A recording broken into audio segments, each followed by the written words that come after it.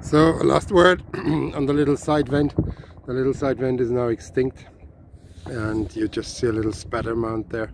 I'm trying to zoom in so this is the end of the little side vent. It was spattering towards uh, its final closure and built up this little yeah mount so uh, and uh, all activity is now focused on the central cone which is here.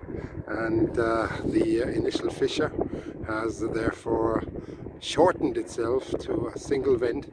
And this is a very interesting phenomenon. I've seen this in uh, geological sections of dikes that seemingly became uh, plugs. And I think this is what I guess we uh, see at the surface in such a situation that a fissure becomes a vent. And uh, the fissure you can just about see it over here. It's that bit that ran up the hill.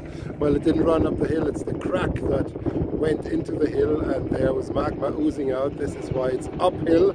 So it's not running up or it wasn't running up. It was actually a crack opening up and uh, it was erupting all along the crack.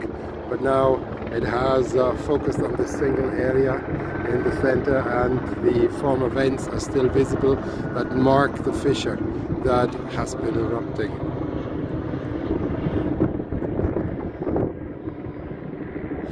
So, hope you found this of interest.